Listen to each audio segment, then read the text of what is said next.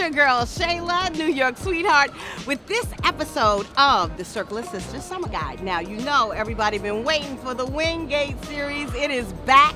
August 8th, we've got an R&B fest.